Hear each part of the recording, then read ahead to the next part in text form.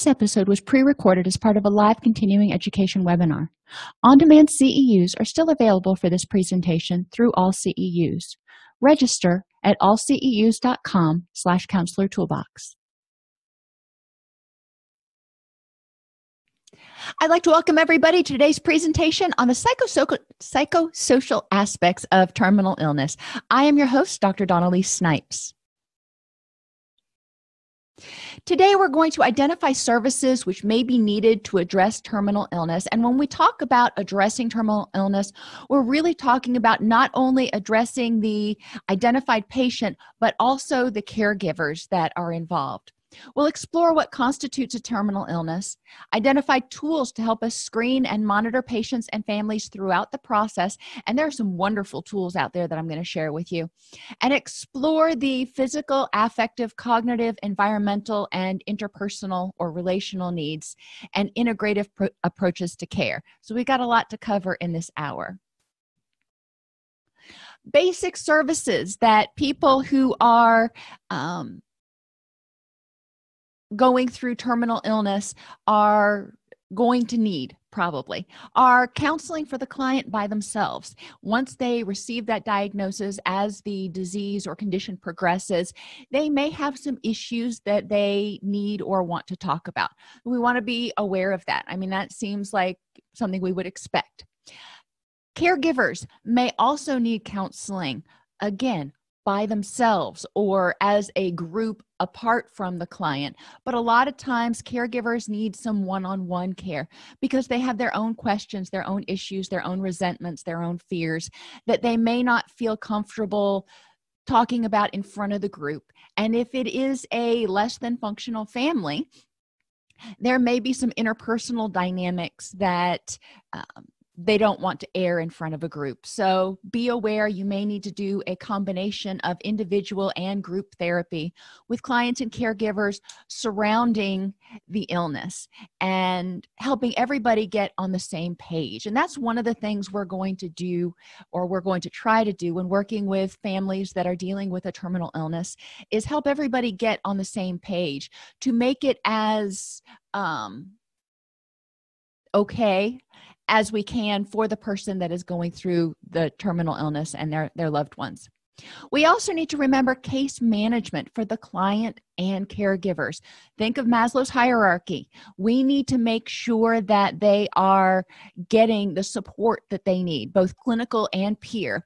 And when I say clinical support, I mean counseling, but also clinical support in terms of open, accurate, effective communication from the medical providers. And sometimes medical providers are less than forthcoming. Either they think we wouldn't understand, or they th- think we don't care, or they just have a bad bedside manner. Let's just face it.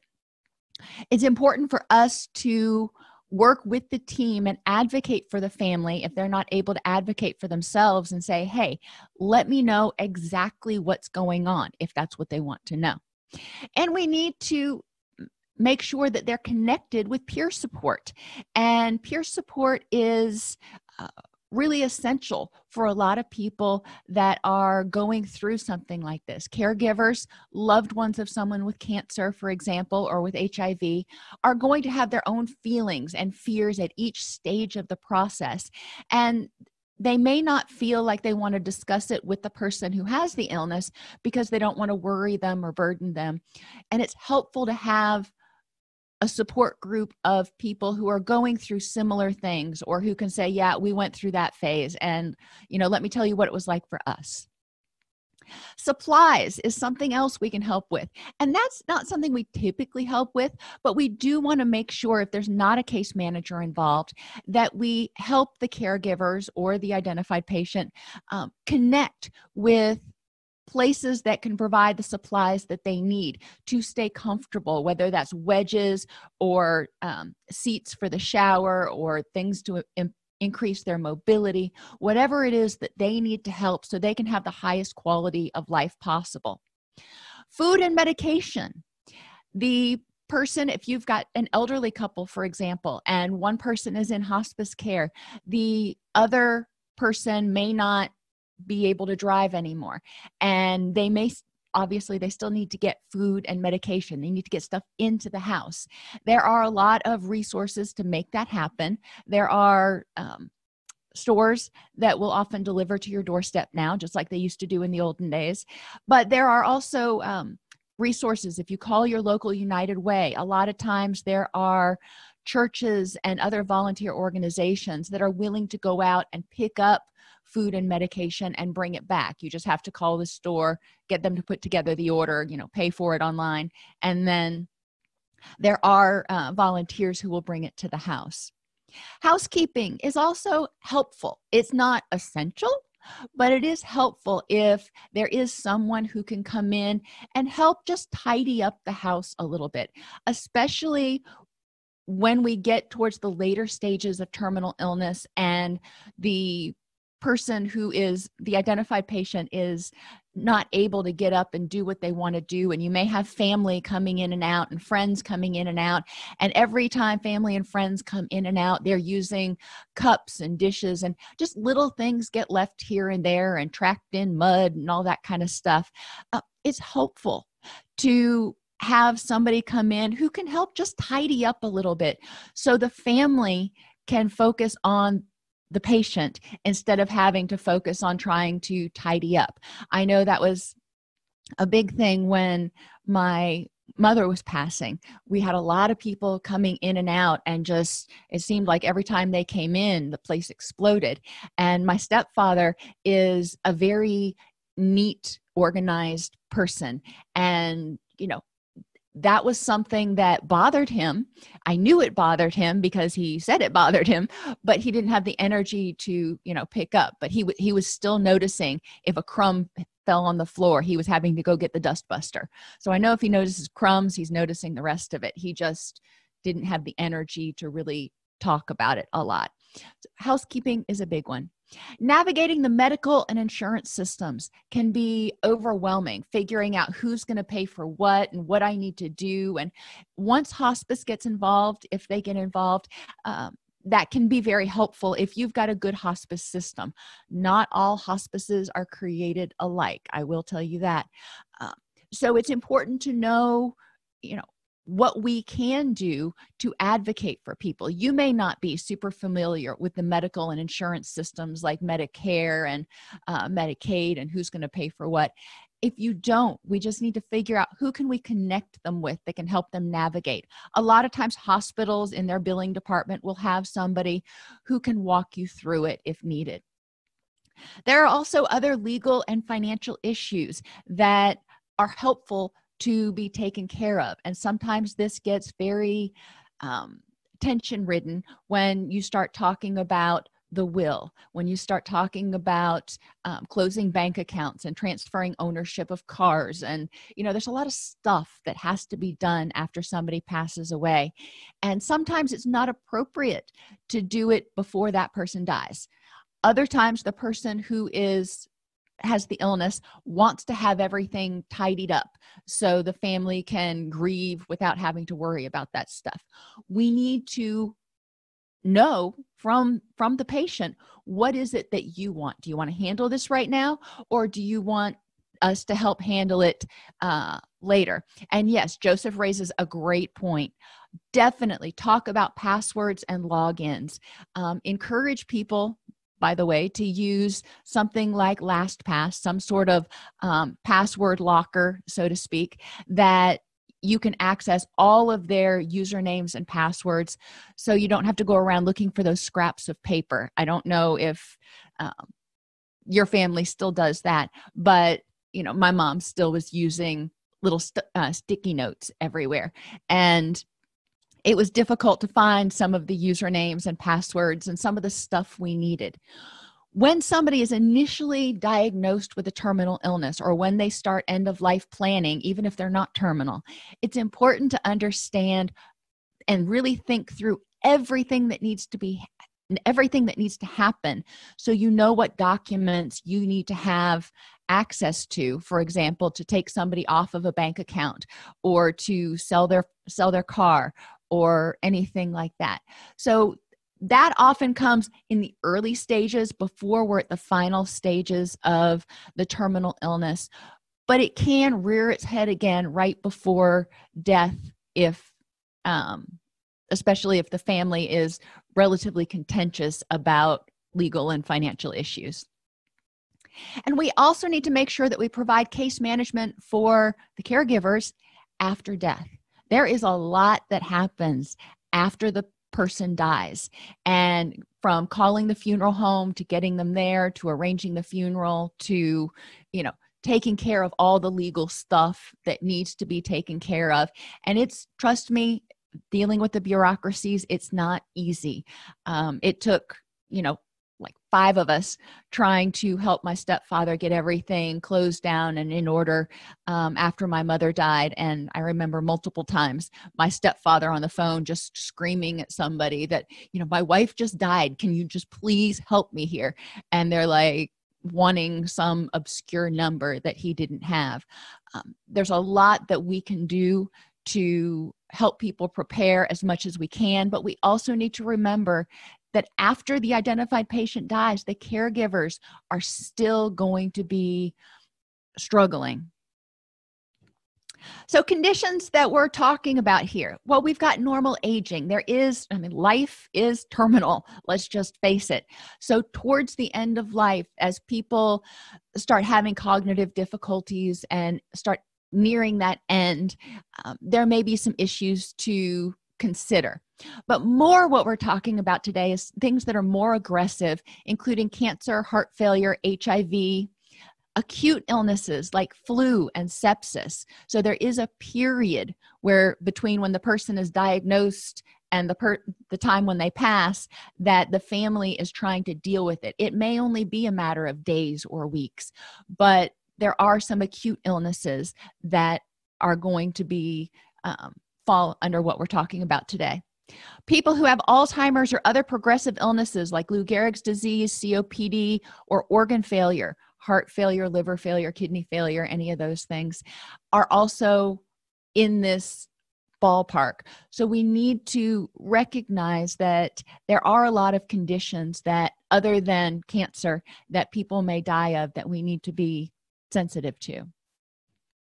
So, tools, I told you there were going to be some cool ones, and I meant to open these ahead of time, but I didn't.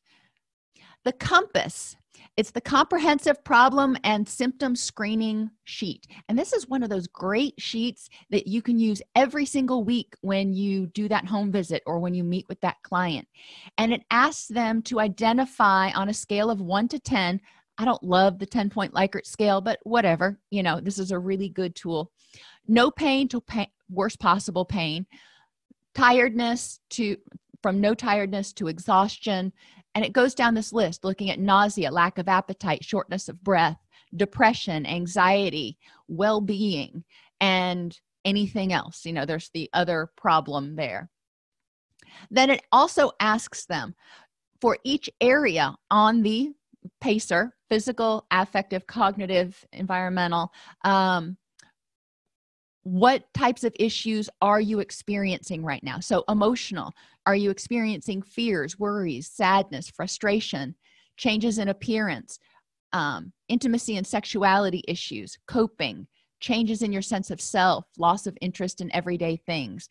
Now I, some of these i wouldn't necessarily put under emotional but you know they're there. And the important thing is that we are um, assessing for these things. Informational now this is one we don't always talk about. Understanding my illness or treatment talking with the healthcare team making treatment decisions knowing available resources quitting smoking or accessing or taking medications or any other problems with them. Social and family issues practical issues spiritual issues and physical issues are also kind of in there.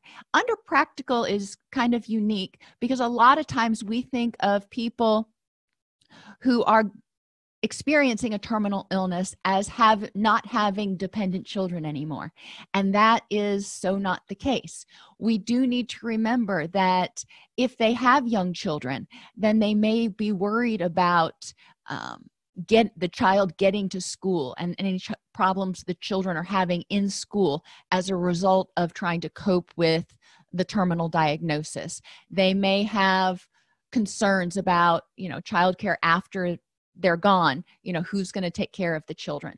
We do want to be sensitive to that. The other tool that we have here is the d- distress thermometer and problem list and it's very similar. They have the 1 to 10 scale over here and they ask how much distress just in general on a scale of 1 to 10 are you experiencing? And then they also have a list of different problems to assess to see how um, any particular issues that we might need to address. Now, this one is specifically from the National Comprehensive Cancer Network, so it is less all encompassing than the first one, but either one is a great starting place to open a discussion with families in your weekly visits. Let's talk about some symptoms and issues now. For the patient, they may have physical symptoms of pain, and we may need to make sure that they have the availability of palliative care. And palliative care is not necessarily just your, you know, last six months of life care. It is we need to make sure you are living your highest quality of life with the least amount of pain as possible. You know, we want to help you enjoy whatever, however much time you have left.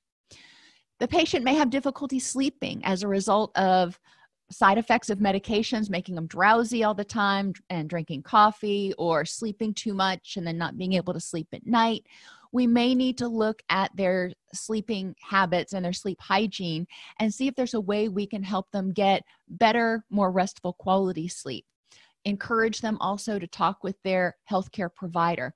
A lot of times, when people have been diagnosed with a terminal illness, they may have a lot of anxiety and be afraid to go to sleep because they're afraid they won't wake up. Another issue with sleeping, if they're in the hospital or a long term care facility where they've got uh, nurses or doctors coming in and checking and prodding and poking, or there's lots of commotion in the hallways all the time. These are things that we need to factor in and see if we can figure out how to help them sleep a little bit better. Med- medication side effects.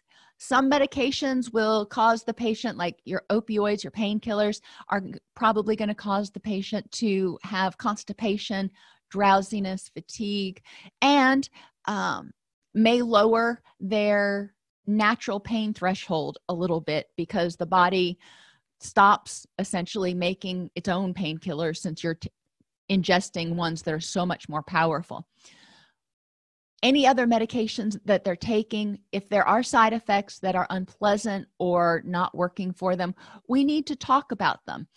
In elderly patients, not remember not everybody who's terminal is elderly but in elderly patients benzodiazepines your anti-anxiety medications are strongly not recommended because they contribute to disorientation falls and cognitive decline um, a lot of times so being aware if the patient is prescribed and there are still many many doctors that will prescribe xanax or valium for um, elderly clients but that does greatly increase their risk of falls and other things. We need to be aware of the patient's activities of daily living their mobility. Can they get out of bed?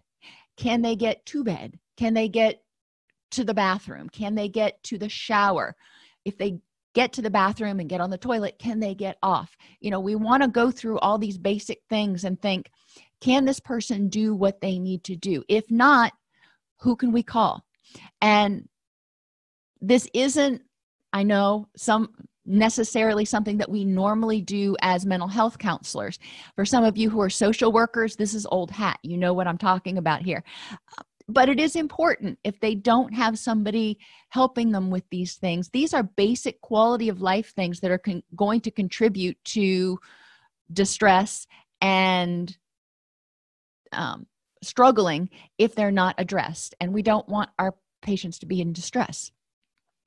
And there can be changes in responsiveness especially toward the very very end of life you know, d- depending on the disease and the person that may be days or it could be months but there can be changes in responsiveness where the person just kind of either zones out or falls asleep and then wakes up and then falls asleep again. This is exhausting for caregivers to digest. It's they're dealing with their own emotions about the person's terminal illness, but they're also trying to keep the patient as comfortable as possible. And they may not understand exactly what's going on. They may feel, or they may need to, uh, be on 24 hour shifts to keep the patient safe and make sure the patient's getting their pain meds and or whatever it is that they need which again can contribute to exhaustion i remember when um, daddy was in final phases we were watching him 24 hours a day and somebody you know was always having to take the overnight shift because he was agitated and he would get out of his the hospice bed and start wandering around and we were worried that he would hurt himself. Um, there are a lot of things that cause emotional as well as physical exhaustion for caregivers. We need to make sure that they are taking time to take care of themselves, reminding them that if they are worn down, if they don't have an ounce of energy left to give, they're no good to anybody. Not only is it hurting their own mental and physical health, but it's going to prevent them from being able to help their loved one and anybody else in the family that they're trying to support. Caregivers may also have difficulty sleeping. Um, if their loved one is sleeping in the same house, every time their loved one, you know, makes a, a move or something, they may wake up and check on them. Uh, or they may just have difficulty sleeping because of anxiety or if they're sleeping in the hospital they're going to get awakened when the nurses come in as well and we do want to make sure that we emphasize the importance for immune system regulation, mood regulation, as well as energy, the importance of quality sleep as many nights as possible. It may not happen every night, but as many nights as possible during this time. Caregivers may have some physical requirements of caregiving that they can't do. Maybe they have a loved one who has mobility issues, but they are not strong enough. You know, I think of my grandmother and my grandfather was like six foot three and my grandmother may have been five foot and you know 100 pounds soaking wet. So when my grandfather was nearing end of life um, you know she wasn't able physically able to move this man from the bed to the bathroom because she didn't have the size or the strength. Uh, we need to make sure that we pay attention to that and help families figure out okay well if i can't carry the person how can we get them there? Okay a wheelchair sweet we can do that. But then you start getting into other issues like getting through doorways and ramps and it is so helpful if you've got a case manager or a social worker who is used to dealing with these physiological physical aspects of uh, terminal illness because sometimes there are things you wouldn't think of. There are some life care planners slash rehabilitation counselors that also specialize in identifying issues and helping with the case management aspect. And finally, nutritional support, preventing low blood sugar and secondary effects. A lot of times, people, when they are under a lot of stress, especially towards the very end, um, they are not going to have an appetite or they're going to forget to eat. I know my stepfather kept forgetting to eat. And even when we would remind him, he didn't want to eat, he had no appetite.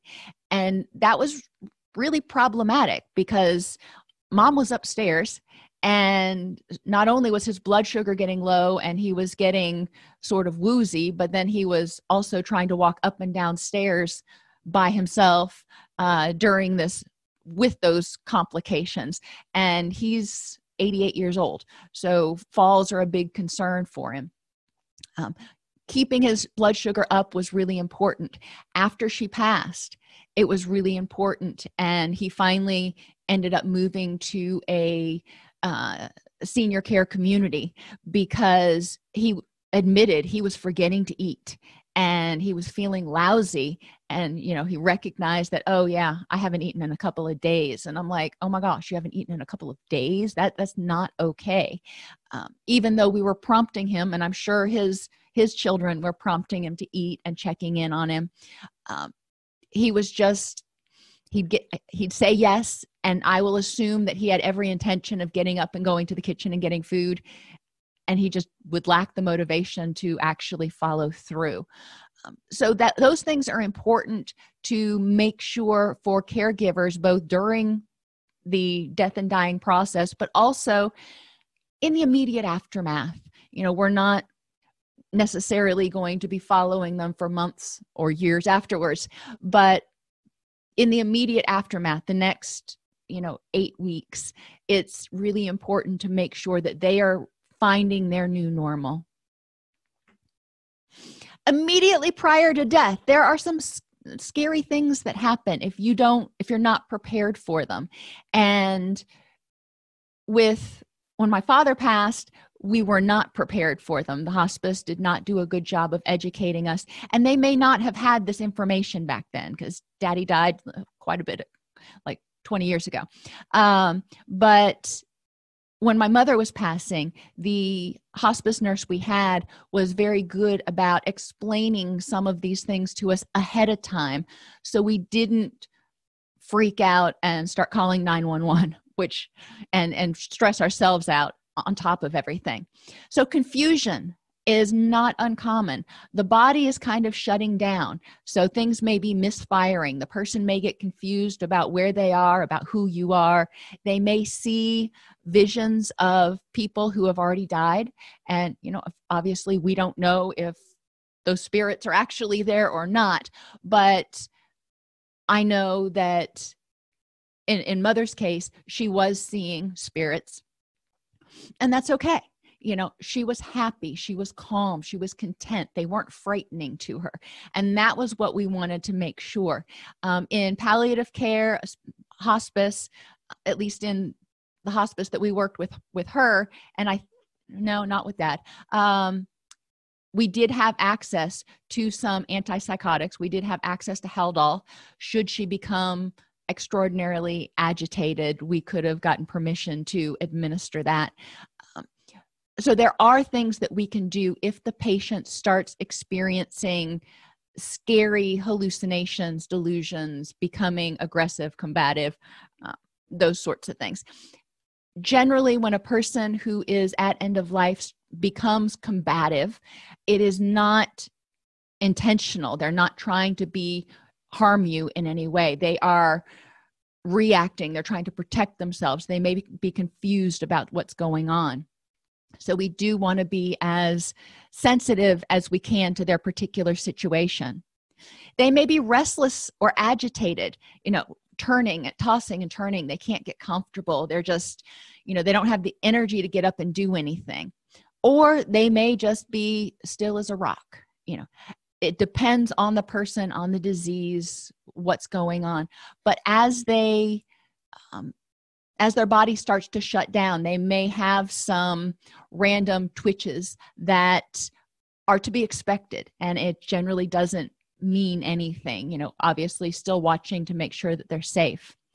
They may attempt to remove their clothing and cry out or moan.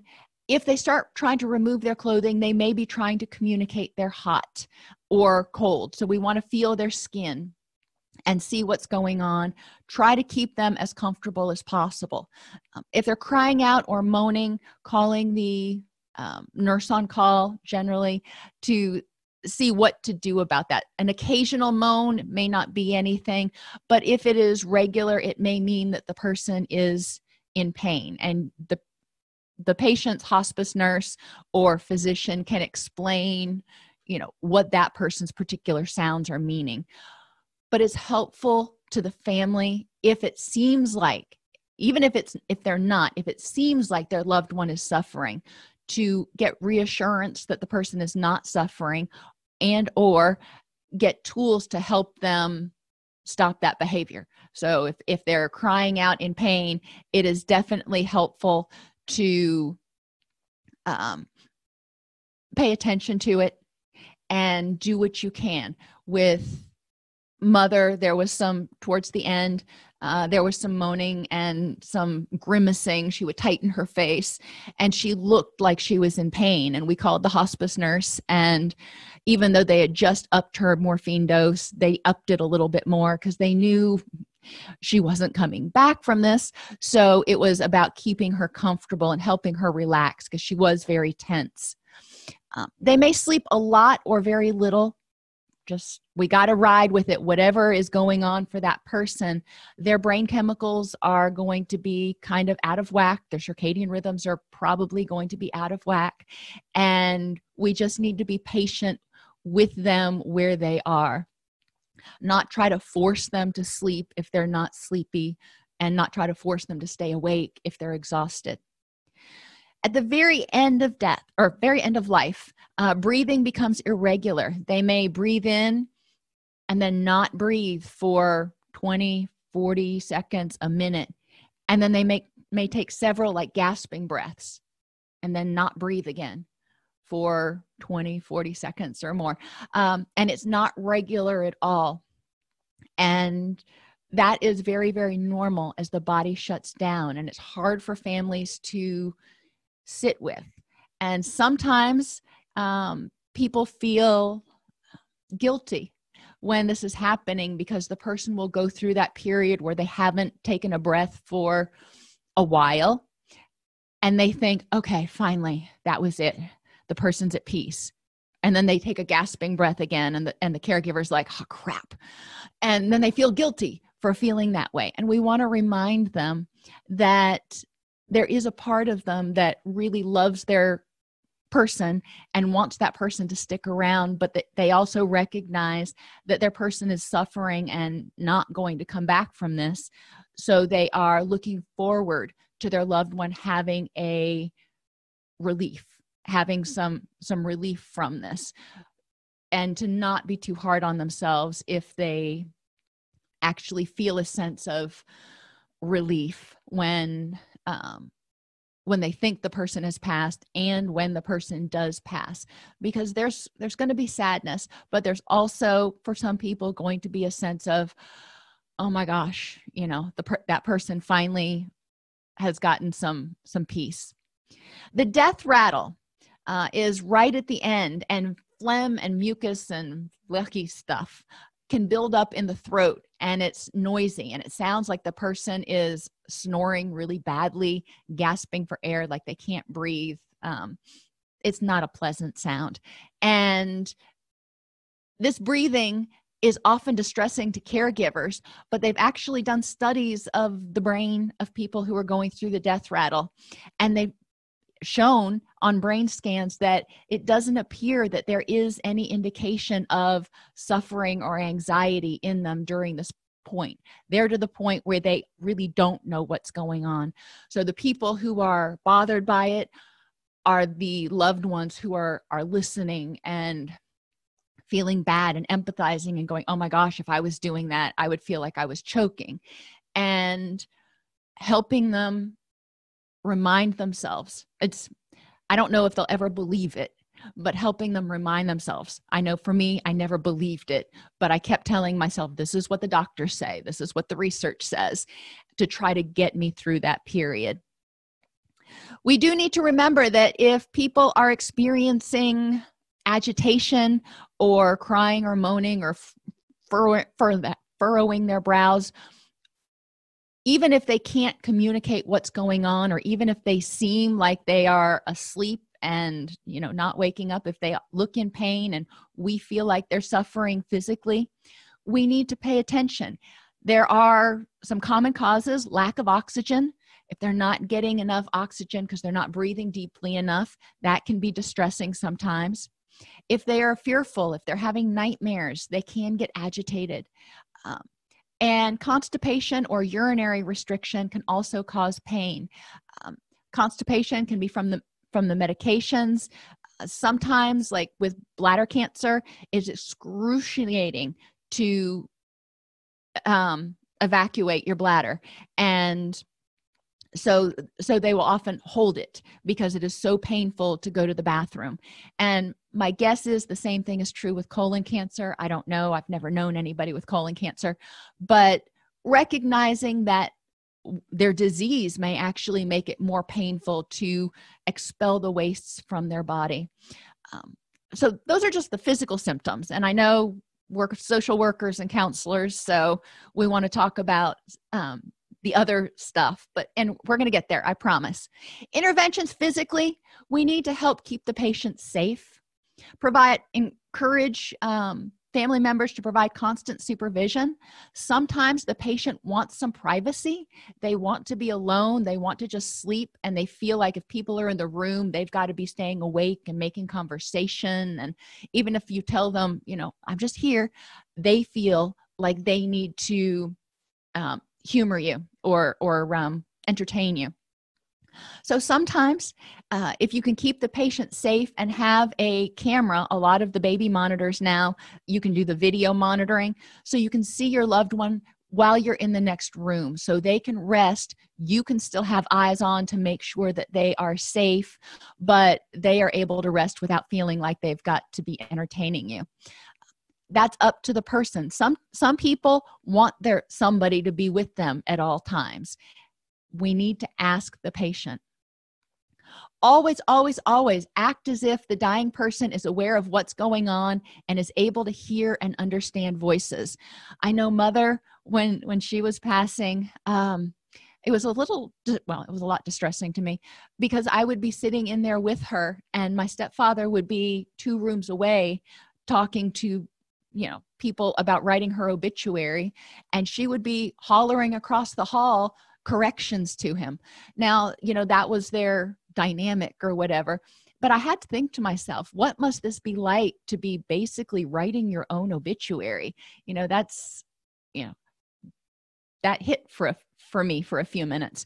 Um, so we want to recognize that people do hear, and it's not just what's right in their room, but they may hear what's being said outside their doorway or two rooms down. And we want to be sensitive to what we're saying and how we're saying it. Not only when we're talking about things about the person, but if there are intrafamilial conflicts or issues with the care providers or whatever, the person who is dying doesn't need to be exposed to that drama and negativity if unless absolutely necessary.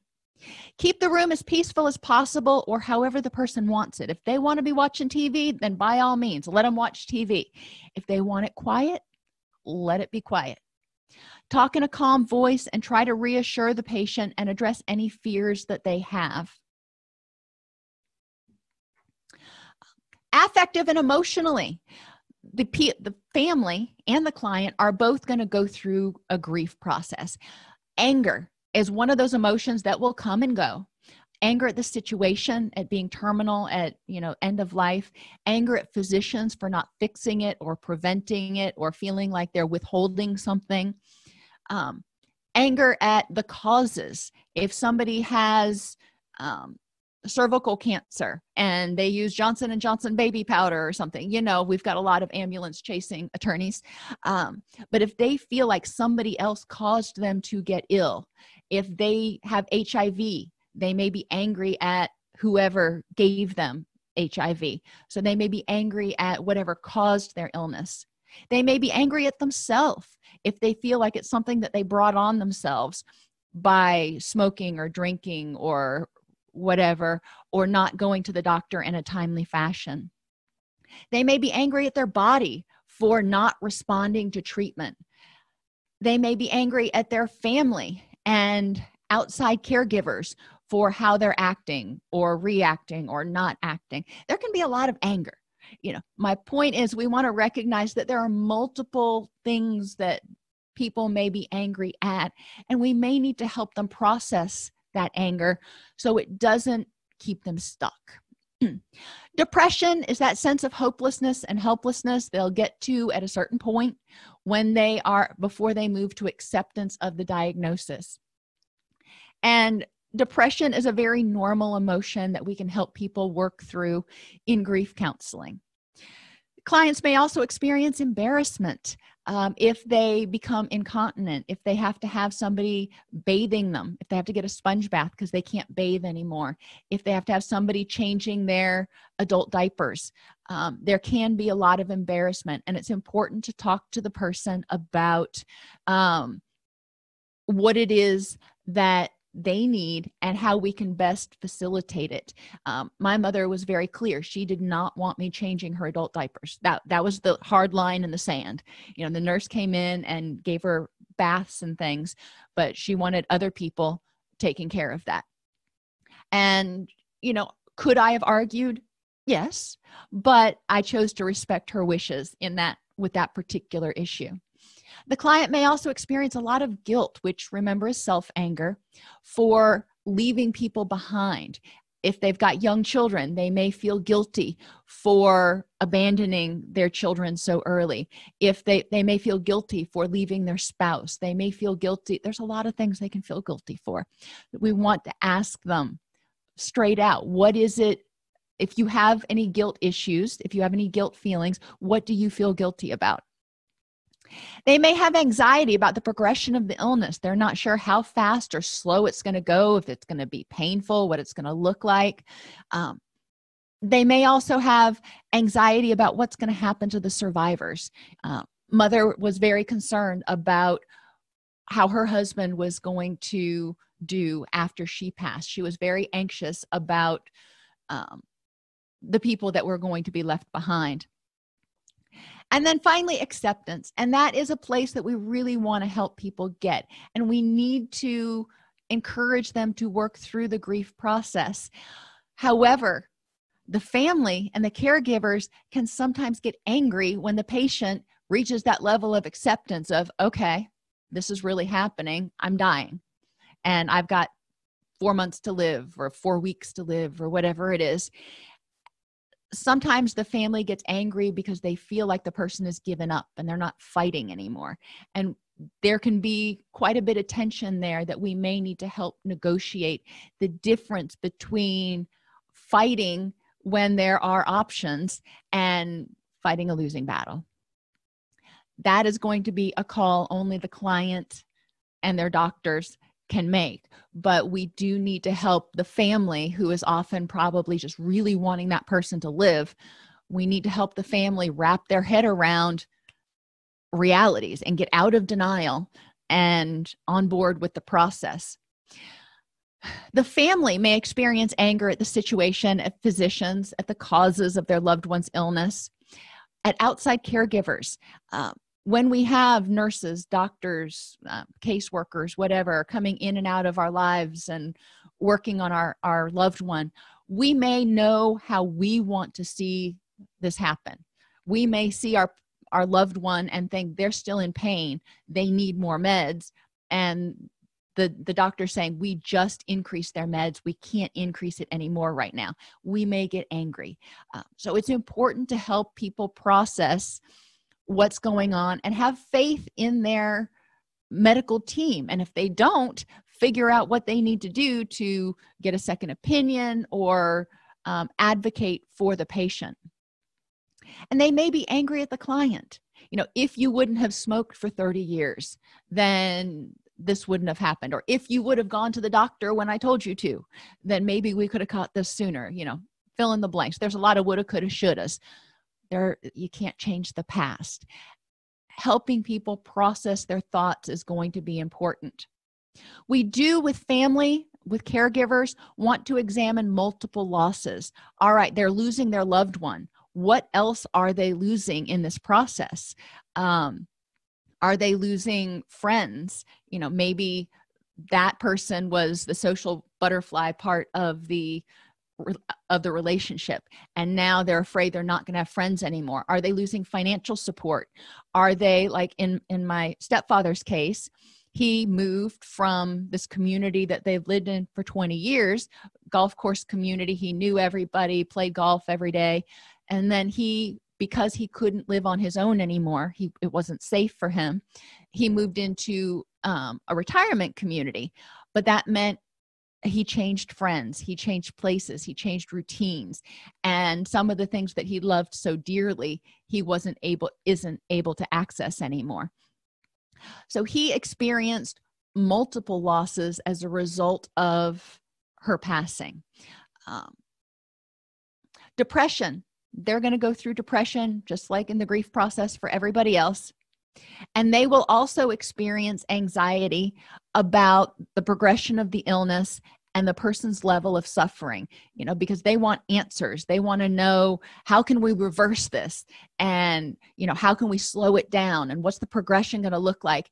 And unfortunately nobody has a crystal ball and they can't doctors can't say for certain it's going to be 36 days from today.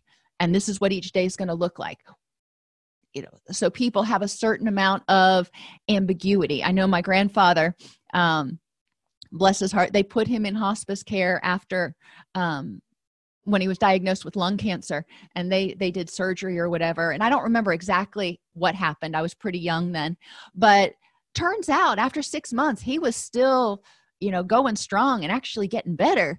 And so they ended up terminating hospice care. So he had been put in hospice care given six months or less to live. And you know lo and behold he said no i'm not ready to go yet. That was one of those shockers. That's the unusual case. But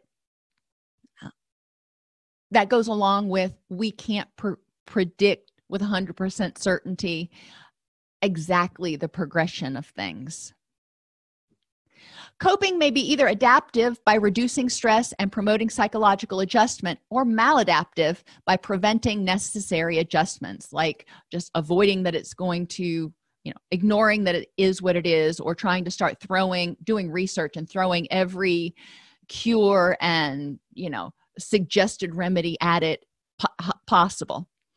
Coping strategies, seeking information is very helpful.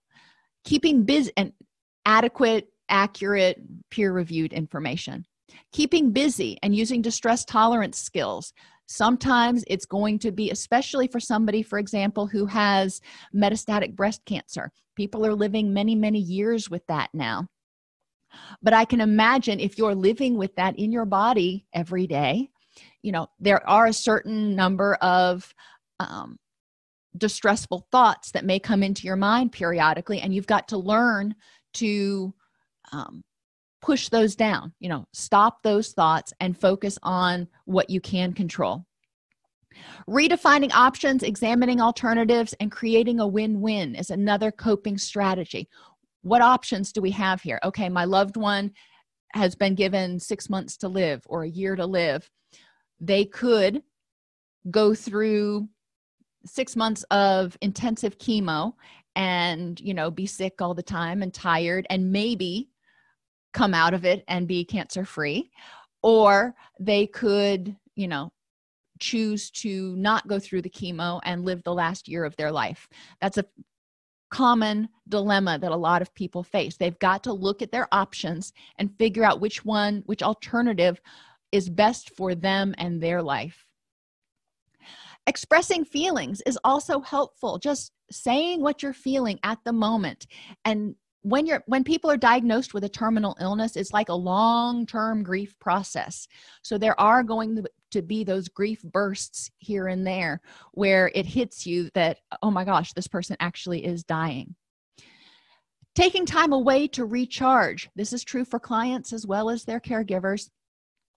They need to take time away to do things that make them happy. We need to encourage the brain to excrete some of those happy neurochemicals and moderate that HPA axis. Get support from others and synergize. Find out how you can collaborate and combine and use your strength in order to make this process go as easily as possible. Maybe one person is really good at doing yard work, you know, maybe one person can cook meals maybe one person can do cleaning you know whatever needs to happen um, when the person is is at home is important. Mindfulness being aware of how you feel in the moment and regularly reflecting on and responding to your own needs and purposeful action.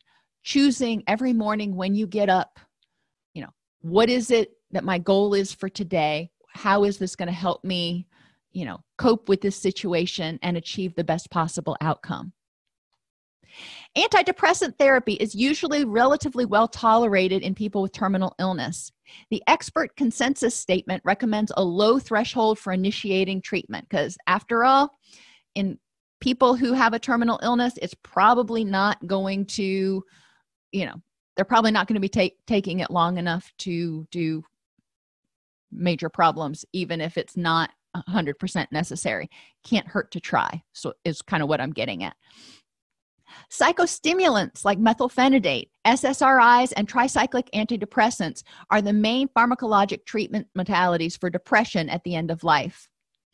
Sertraline, paroxetine, mirtazapine, and uh, citalopram have demonstrated effectiveness for fatigue and depression in patients at the end of life. Now, some of those you may be looking at going, How is that? That makes me sleepy. Um, Paxil, for example, often makes people sleepy, but um, it's so it's important for the person if they are put on an antidepressant to when they take it if it's making them more tired to advocate with for themselves with their physician Several studies document the effectiveness of methylphenidate in patients with cancer or HIV to address low energy or apathy.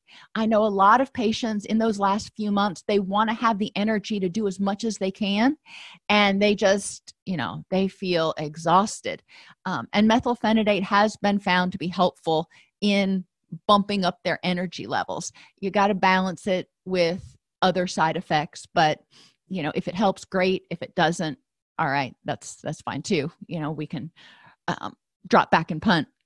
The Cochrane Review concluded that there is no systematic evidence of the effectiveness of pharmacologic treatment of anxiety in a palliative care setting.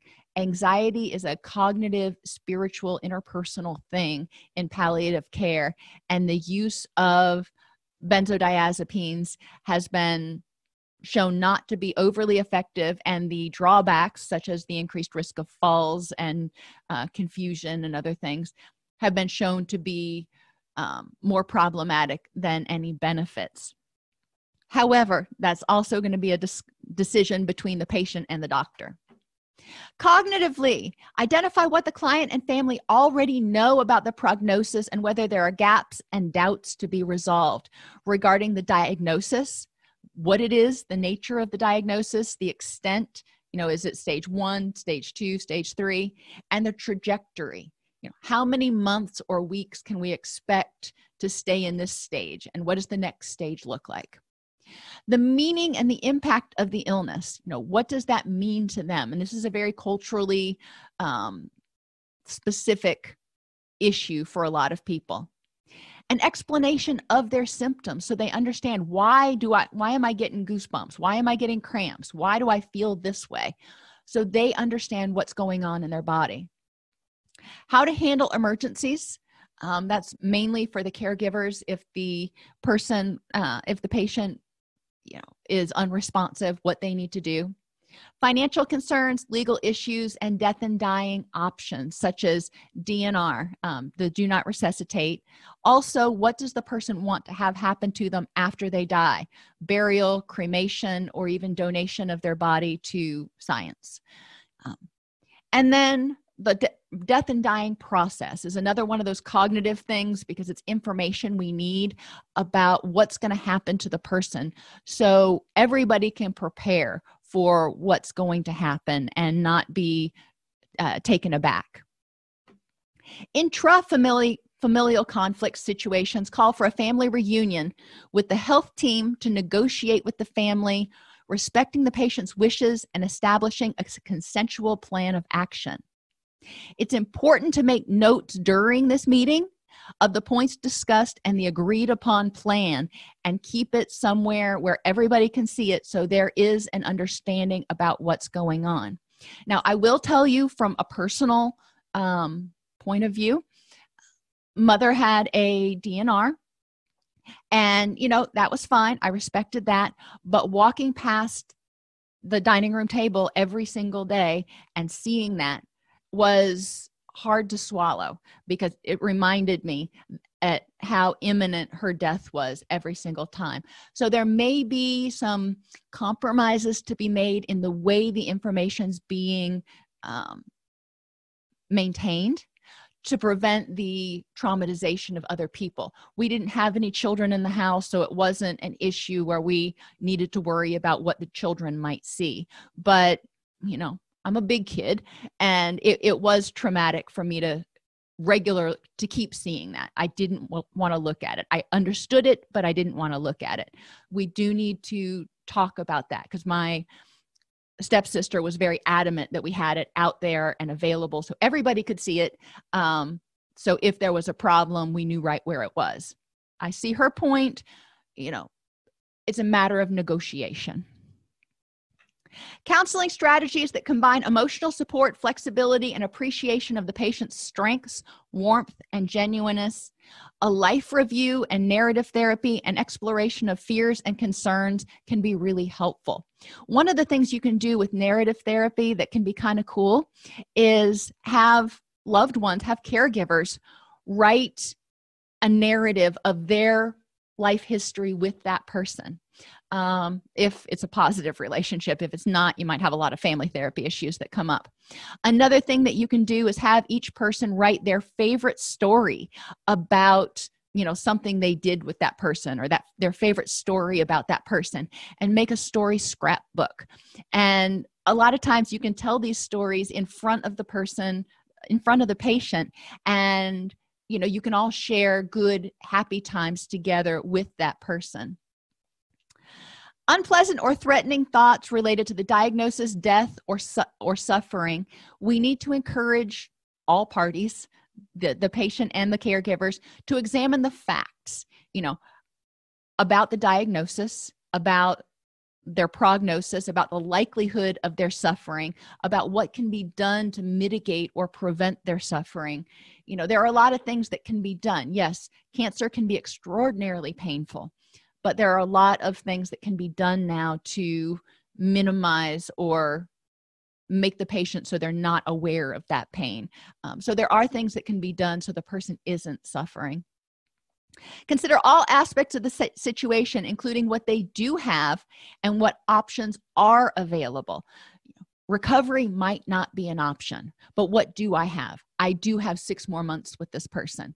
Um, what options are available. The person could stay in a hospital and you know pass away there. They could pass away in their home. You know there are options that we need to look at and help the person find their menu so they feel as empowered as possible. And examine the probability versus the possibility of things. You know there's the probability that things can go terribly terribly wrong but the or the possibility but the probability is pretty slim most of the time because doctors are used to dealing with most of these conditions and they know kind of what to expect and can can prepare the family for what's happening. The probability that someone is going to endure extreme suffering is one of the biggest anxieties and the probability of that happening i can say you know with you know 99% certainty in most cases is very, very slim. There are so many things that we have from medically induced comas all the way down to make sure that people do not experience severe suffering. Environmentally, the continuity of care. We want to make sure that people have the same nurses, doctors, whatever. The structure and the process of care. We need to take a look at what is helpful for the individual. We want to make sure that they are they have access to supplies and accommodations for the client and caregivers. Like I said, for my for my stepdad, getting up and down the stairs was a big issue for him. Community resources, we can tap into those for shopping, cleaning, and transportation. And we want to pay attention to sensory stimuli, including smells, sights, and sounds in the hospital or at the long term care facility or at home, and make sure they are not disturbing to the uh, to the patient. Interpersonally we want to sure people reach out for community support and peer support. If they are inclined reach We're out for spiritual guidance. Street. and remember that they can't do everything themselves. It's important to let others share the load for the dying person for we're, you. We're on dolphin right now. And what do we mean by that? Um, with people who are um, when people are dying it's important to remember that um, sometimes friends and family may want to give back. They want to be there. They want to help out and that is part of their grieving process. So letting people help letting people cook letting people take a shift is actually not burdening them. It is allowing them to fully express themselves and take part in the grieving process. Interpersonally the, the person dying may have an increased desire to have one loved ones close or not. They may not want others to remember them this way. We want to respect their wishes. Children and death. Children respond to death a little bit differently. There's denial shock and confusion anger and irritability inability to sleep or nightmares fear if they go to sleep they may not wake up loss of appetite fears of being alone you know or fears of separation because they're afraid that you know, their mom or dad or caregiver won't come back. They may have physical complaints like stomach aches and headaches or difficulty concentrating. So school performance may be in the crapper here and there guilt over failure to prevent the loss. A lot of children feel like if they would have only and we need to emphasize for them that it wasn't their fault. There may be depression or a loss of interest in daily activities and events. We expect that in somebody who's grieving. We may see some regressive behaviors due to the trauma of the loss and that is that is a person's way those are children's ways of asking for increased nurturance for needing increased nurturance like they had when they were younger there may be withdrawal from friends because they're just emotionally exhausted they may also excessively imitate or ask questions about the deceased or make repeated statements of wanting to join the deceased. They want to see them, they want to visit. It often does not mean they want to die, they just don't really understand the finality of death. Uh, so we want to talk with them about what's going on and ways that they can connect. When my aunt passed, she died of cystic fibrosis. But before she passed, she told me she tied an imaginary string from her her belly button to my belly button and she said we would always be connected and that made sense to me you know i was like seven at the time so of course it made sense. Anything made sense at seven. But i i remember that to this very day. And children may invent games about dying. This is their way of trying to process and understand. Again it doesn't usually mean that they have suicidal thoughts or intentions. If you are concerned about that obviously definitely get them screened. But don't be um, completely freaked out if they start replaying the situation or playing reenacting the hospital scene or something. Don't try to protect children from grief. Communicate with them in concrete developmentally appropriate ways. Let them discuss their fears and educate them when possible, validating their feelings and providing choices about how to memorialize the person and express their feelings. I love making the little shrinky dinks, the little um, sun catchers, and for things that remind you of the person. My mother loved hummingbirds. So making shrinky dinks of hummingbirds and hanging them in the window when the sun catches the the shrinky dink, the sun catcher, and shines through it, it feels like you know mother's saying hi and you know just whatever it is for the person that that's what works for me other people have different ways of memorializing be sensitive that they may not want children may not want to talk or think about the deceased because it's too painful. And explain the person loved them and would want them to be happy. Remind children that not everyone who gets sick will die so they're not freaked out the next time you get a cold. Reassure him or her of your health. Let him or her know how many people in their life care for them.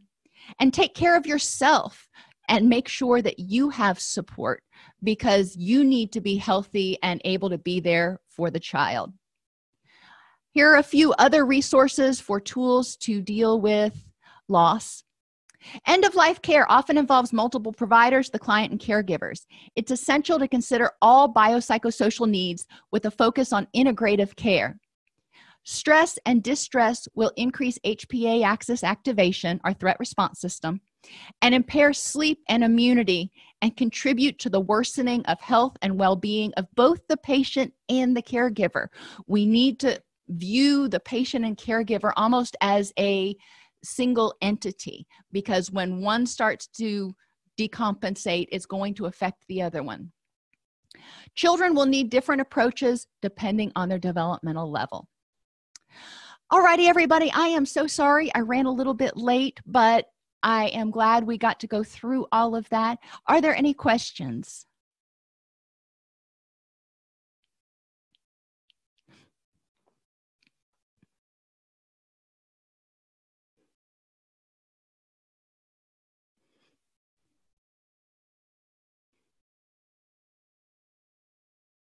Alrighty, everybody. Thank you again for being here today, and I will see you Tuesday.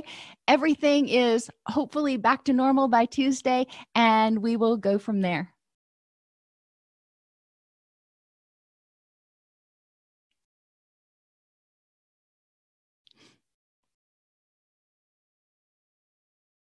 Between writing notes, filing insurance claims, and scheduling with clients, it can be hard to stay organized. That's why I recommend Therapy Notes. Their easy to use platform lets you manage your practice securely and efficiently. Visit therapynotes.com to get two free months of therapy notes by just using the promo code CEU when you sign up for a free trial at therapynotes.com.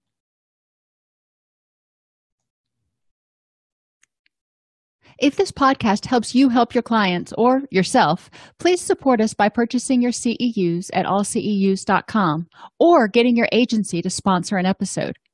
A direct link to the on-demand CEUs for this podcast is at allceus.com slash podcast CEUs. That's allceus.com slash podcast CEUs. To sponsor an episode of Counselor Toolbox and reach over 50,000 clinicians per week, go to allceus.com slash sponsor. Thank you.